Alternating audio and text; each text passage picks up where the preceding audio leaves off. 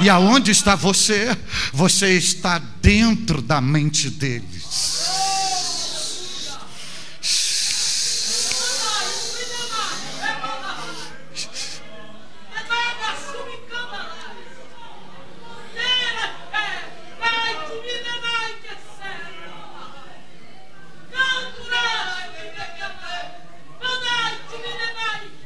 Só que ele diz assim: façamos o homem. Não é faz, façamos um homem. Se ele colocasse o artigo definido, você seria mais um. Ele está dizendo: eu não vou fazer mais um, eu vou fazer o. Eu vou fazer a coroa da minha criação. Eu vou fazer aquele que me representa. Então saiba de uma coisa: você não é mais um. Você é o. Você é a. E quando ele coloca o artigo aqui, façamos o homem, ele não está se referindo à distinção da espécie humana em macho e feminino, não, macho ou fêmea, ou homem ou mulher, ele está falando de origem de caráter.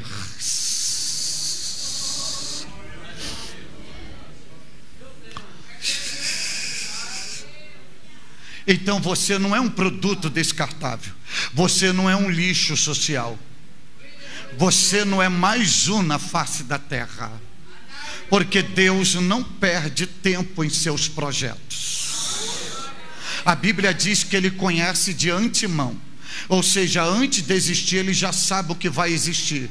E nada que ele faz dá errado porque ele não erra. Ele sabe tudo que vai acontecer. Então você é justamente o que ele fez. Você não é um erro, mesmo que você seja resultado de um ato de violência sexual. Você não é um erro, porque você existe. A matriz está na mente de Deus. Você é exatamente o que ele fez. E ele diz: façamos o homem, o homem, segundo a nossa imagem, segundo a nossa semelhança. Isto aqui é o seguinte: é a única criação de Deus que tem o DNA de Deus. E eu vou explicar isso daqui a pouco. Que tem a digital de Deus, que tem o parentesco de Deus, é você haja vista que ele já havia criado o reino angelical, ele já havia criado os anjos, ele já havia criado os serafins, ele já havia criado os querubins, ele já havia criado os arcanjos. Mas ele disse: nenhum deles pode ter o que a gente tem. E nós vamos criar um ser que nós vamos compartilhar aquilo que está intrínseco na nossa natureza com eles. Aí Deus projeta você. Você é um projeto dele. Volta a dizer, originado na mente dele. E outra verdade que você precisa entender: ele está falando no homem, pensando no homem. Sem um homem existir, o que que significa isto? É que você não pediu para existir. Você não pediu para estar aqui. Você não pediu para ser o que você é. Foi uma decisão voluntária deles. Foi ele que decidiu. Foi ele que quis. Isso nasceu na mente dele foi gerado no interior dele. Aí chega Jesus, na dimensão da graça, Jesus vai ratificar isso com uma linguagem dizendo: Não foste vós que me escolhestes, mas foi eu que escolhi a vós. Não foi você que escolheu para nascer, Deus decidiu você nascer.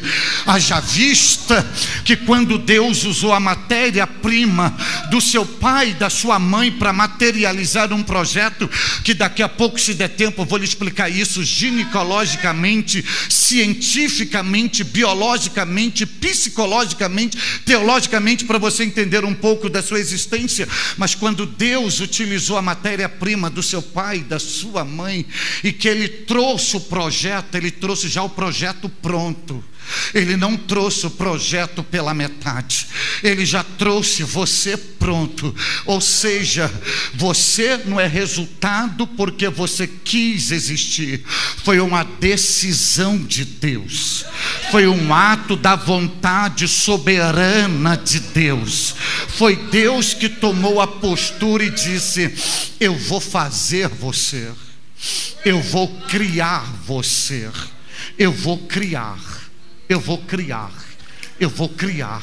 Se você ver o verbo criar para o verbo fazer, há uma diferença muito grande na ação, porque o verbo criar está ligado à divindade, que é o aspecto transcendental transcendental de Deus, a sua soberania, a sua potencialidade, a sua majestade, a sua universalidade, o independente, o autônomo, o que não precisa de ninguém, o que faz o que bem entende. Logo, da onde você saiu?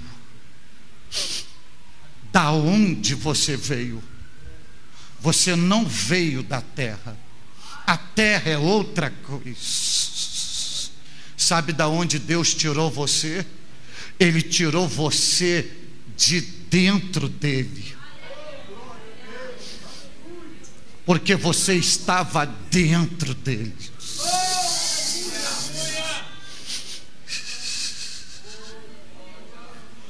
E você só vai entender isso no processo do novo nascimento. Que diz que quem nasce de novo não nasce da vontade do varão não nasce nem da carne e nem do sangue. Então, teu pai e tua mãe só foram instrumentos, mas não foram a causa primais. E diz: quem nasce de novo sai de Deus, nasce de Deus, é gerado de Deus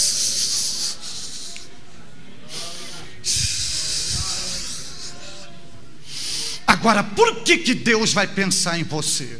Por que, que Ele vai falar em você? Por que, que Ele vai projetar você se Ele não precisava de você? Já tinha os anjos, já tinha os querubins, já tinha os serafins, já tinha o arcanjo e tinha um conselho.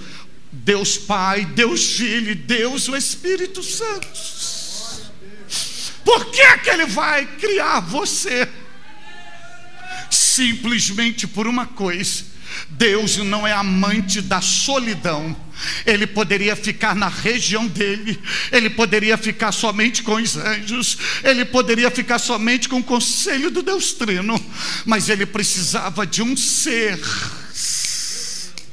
parente com ele, com a natureza dele, com a imagem dele, só visando uma coisa: relacionamento, intimidade, comunhão.